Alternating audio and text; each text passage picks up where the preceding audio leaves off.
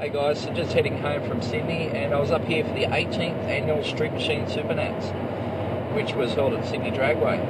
Now, you know, the weather couldn't ask for a better day, and uh, even today it's beautiful. It's going to be a shame to spend half the day in the car, but unfortunately that's my life.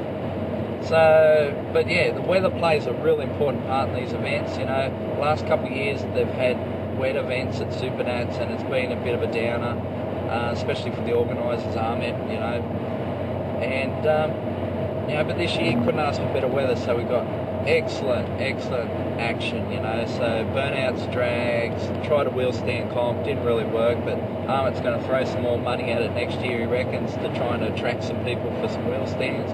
It should be interesting to see. Um, what else was there? Go to Whoa, um, Show and Shine, you know, just crowd started off a bit slow, but you know, really built up towards the end.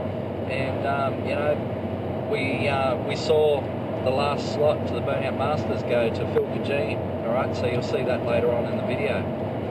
So anyway, lots of action coming up in the next couple of week, weeks from Supernats. All right, so we'll be uh, posting it up over the next couple of weeks.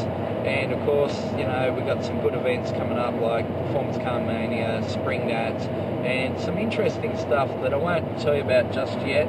But uh, yeah, stay tuned because uh, we're going to see some interesting stuff on Scotty's Garage. Alrighty, I'm going to stop talking and concentrate on my driving so I can get home safely. And uh, yeah, let's just roll on the action.